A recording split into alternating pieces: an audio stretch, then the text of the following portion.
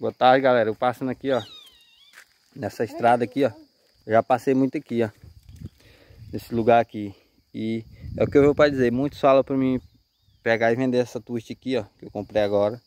Comprar um carro. Mas aí, ó. A situação da estrada. Muita lama. Na moto eu venho um desvio. E também outra. Eu não pretendo comprar carro agora. Porque eu não tenho condição de comprar um carro bom. Porque o carro que eu tenho vontade se eu vender essa moto aqui, não dá de comprar.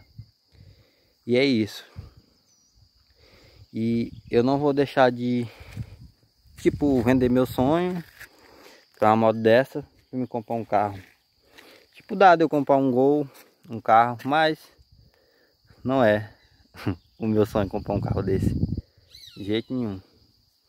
Se gostar do meu vídeo, se inscreve no meu canal. Deixa aquele like, fortalece que meu objetivo é outro. Não é vender a CB Twist para comprar um carro popular.